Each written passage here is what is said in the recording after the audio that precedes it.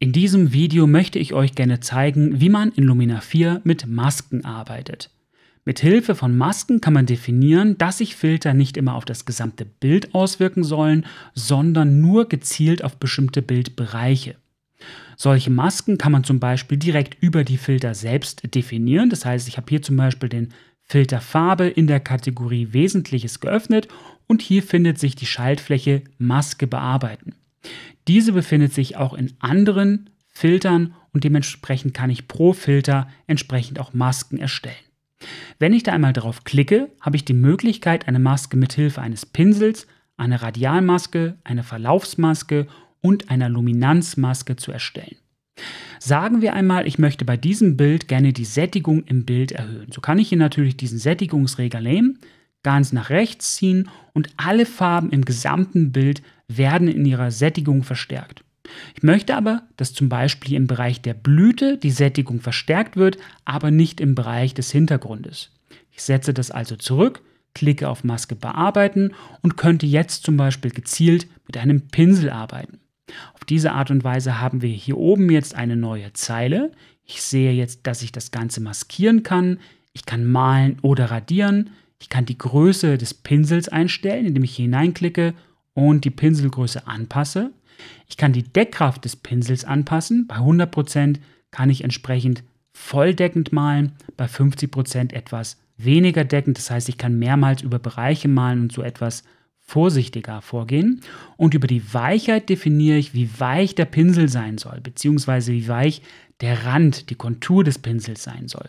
Bei einer Weichheit von 0 ist entsprechend der Rand des Pinsels sehr hart und bei 100 entsprechend schön weich. Wenn ich diese Maske ins Bild male, möchte ich diese in der Regel sehen. Deshalb klicke ich hier beim Maskieren auf das Augensymbol und male jetzt zum Beispiel hier über die Bereiche, die ich mit diesem Filter bearbeiten möchte. In diesen Bereichen sehen wir ein rotes Overlay und nur diese Bereiche werden jetzt von diesem Filter entsprechend beeinflusst. Bin ich fertig, kann ich jetzt auf Fertig klicken oder ich kann zum Beispiel auch diese Maske einmal ausblenden und diesen Filter ausprobieren. Das heißt, ich habe diese Bereiche jetzt ausgewählt, erhöhe die Sättigung sehr stark und wir sehen, in diesen Bereichen wird die Sättigung jetzt verstärkt. So sah das Ganze vorher aus, so sieht es jetzt aus und in den umliegenden Bereichen passiert in diesem Fall gar nichts. Ich blende nochmal diese Maske ein, denn wenn ich mich zum Beispiel mal vermalt habe, so kann ich dieses ebenfalls korrigieren, indem ich auf Radieren klicke, in diesem Fall idealerweise die Deckkraft auf 100 stelle, damit ich diese Bereiche auch vollständig entferne, male darüber, so, und damit habe ich diese Bereiche wieder korrigiert, wähle wieder Malen aus, kann entsprechend zum Beispiel die Deckkraft wieder reduzieren, wenn ich möchte, kann entsprechend hier diese Maske wieder ausblenden und hier arbeiten. Mit Klick auf Fertig habe ich diese Maske erstellt, kann aber jederzeit wieder über Maske bearbeiten, in diese Maske hinein, kann mir diese auch anzeigen lassen und weiterhin bearbeiten. Das Ganze funktioniert auch über Ebenen. Wenn ich zum Beispiel in den Bereich Ebenen gehe, könnte ich eine neue Ebene erzeugen und auch hier hätte ich zum Beispiel den Punkt Maske bearbeiten mit denselben Optionen. Das heißt, wenn ich jetzt auf diese Ebene verschiedene Filter anwende etc., könnte ich über diese Maske genau sagen, wo diese Ebene zu sehen sein soll. Das ist ganz praktisch. Ich werde diese Ebene nochmal löschen, wechsle wieder zu Farbe und setze das Ganze zurück. Jetzt klicke ich wieder auf Maske bearbeiten und wähle diesmal zum Beispiel eine Radialmaske aus. Hier wird jetzt gesagt, mit gedrückter Maustaste einen Kreis ziehen. Das mache ich jetzt einmal. Ich klicke also mit der linken Maustaste aufs Bild, halte diese Taste gedrückt und ziehe. Und auf diese Art und Weise habe ich jetzt diese Kreise aufgezogen. Damit definiere ich eine Maske. Diese möchte ich wieder anzeigen lassen, damit ich sehe, wo ich eine Maske erstelle. Dazu klicke ich hier oben wieder auf das Augensymbol und in diesem Fall habe ich definiert, dass sich dieser Filter nur in den außenliegenden Bereichen auswirken soll. Ich möchte aber ja gerne, dass hier diese Blüte beeinflusst wird. Das heißt, ich muss diese Maske umkehren bzw. invertieren. Dazu klicke ich hier oben auf diese Schaltfläche. Alternativ kann ich auch auf Maskieren klicken und hier Invertieren wählen. Ich klicke also auf Invertieren, habe das Ganze umgedreht. Das heißt, jetzt beeinflusse ich diese roten Bereich in der Mitte. Ich kann bei diesen Kreisen auf diesen kleinen Punkt in der Mitte klicken und ziehen und auf diese Art und Weise diese Maske verschieben. Indem ich jetzt hier diesen inneren Kreis anklicke und ziehe, kann ich diese Maske verkleinern oder vergrößern und das Ganze dorthin positionieren, wo ich es haben möchte. So ungefähr. Blende diese Maske wieder aus und kann entsprechend jetzt hier wieder diesen Regler nehmen. So sah das Ganze vorher aus. So sieht es jetzt aus. Wenn ich auf Fertig klicke, kann ich entsprechend das Ergebnis wieder begutachten. Und hier müsst ihr allerdings darauf achten, dass wir jetzt nicht mehr ohne weiteres in die Radialmaske zurückkehren und das nochmal anpassen können. Probieren wir diesmal eine Verlaufsmaske aus. Allerdings möchte ich jetzt erstmal diesen Filter wieder zurücksetzen. Klicke auf Maske, Verlaufsmaske.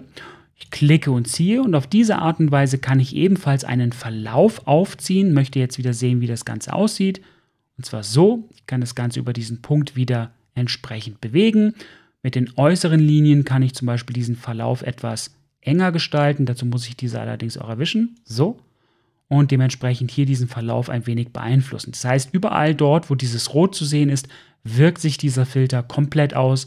In, auf der rechten Seite entsprechend gar nicht. Und hier bei diesem Verlauf eben nur teilweise. Und das Ganze kann ich entsprechend hier bewegen. Ich kann das sogar drehen, wenn ich zum Beispiel auf diese mittlere Linie klicke und ziehe und auf diese Art und Weise ganz genau definieren, wo dieser Filter sich auswirken soll. Bei diesem Bild macht das nicht so viel Sinn, aber ich mache das einfach mal so als Beispiel, blende das Ganze aus, erhöhe die Sättigung sehr stark und wir sehen, auf der linken Seite wird die Sättigung stark erhöht, hier auf der rechten Seite zum Beispiel gar nicht. Vorher, nachher, vorher, nachher. Und das Ganze ist eben auch bei Masken von Ebenen möglich. Bei einer Luminanzmaske wird gewissermaßen eine Schwarz-Weiß-Version des Bildes als Maske verwendet, gewissermaßen anhand der Luminanzinformation eines Bildes. Und das bedeutet, überall dort, wo diese Maske weiß ist, wird dieser Filter angewandt. Überall dort, wo diese Maske schwarz ist, wird dieser Filter nicht angewandt und in den Bereichen dazwischen entsprechend abstufend. Wenn ich zum Beispiel jetzt ein Filmkorn diesem Bild hinzufügen möchte, also ein Rauschen, so möchte ich beispielsweise erreichen, dass dieses Rauschen in den dunklen Bereichen zu sehen ist, aber zum Beispiel nicht in den sehr hellen Bereichen. Das nehmen wir uns jetzt einfach mal als Ziel. Ich werde das Filmkorn entsprechend hinzufügen, zum Beispiel relativ stark, damit wir es auch richtig sehen, so zum Beispiel. Und jetzt erstelle ich eine sogenannte Luminanzmaske mit nur einem einzigen Klick. Auf diese Art und Weise sehen wir jetzt neben der Bezeichnung Filmkorn diese kleine Vorschau dieser Maske und wir sehen im Bild, dass sich dieser Filter jetzt erst einmal auf diese hellen Bereiche des Bildes auswirkt. So sah das Bild vorher aus, so sieht es jetzt aus. Das heißt, hier in diesen hellen Bereichen oder auch hier diesen hellgrauen Bereichen ist das Rauschen gut zu sehen. In diesen dunklen Bereichen hingegen so gut wie gar nicht. Vorher, nachher, vorher, nachher. Wenn ich das Ganze genau umgekehrt haben möchte, muss ich entsprechend diese Maske invertieren. Dazu habe ich hier oben jetzt aber keine Möglichkeit. Deshalb muss ich auf diese kleine Vorschau dieser Maske mit der rechten Maustaste draufklicken und hier sagen invertieren. Auf diese Art und Weise sehen wir das Rauschen jetzt eher in den dunklen Bereichen und weniger in diesen hellen Bereichen. Ich werde das Ganze nochmal kurz invertieren. Achtet mal darauf, dass jetzt in den weißen Bereichen oder hellen Bereichen das Rauschen gleich wieder verstärkt wird und aus den dunklen Bereichen verschwindet. Ich klicke auf Invertieren, zack, und schon ist hier das Rauschen verschwunden und hier wieder verstärkt worden. Das heißt, in den Bereichen zwischen Schwarz und Weiß wird das Rauschen nur teilweise angewandt. Deswegen sieht man es hier zum Beispiel nach wie vor auch im Bereich der Haut. Das heißt, mit Hilfe einer solchen Luminanzmaske kann man entsprechend der Luminanzinformation der Helligkeitsverteilung im Bild eine Maske anwenden und so zum Beispiel in den dunklen Bereichen und hellen Bereichen und den Bereichen dazwischen abstufend die Wirkung eines Filters definieren.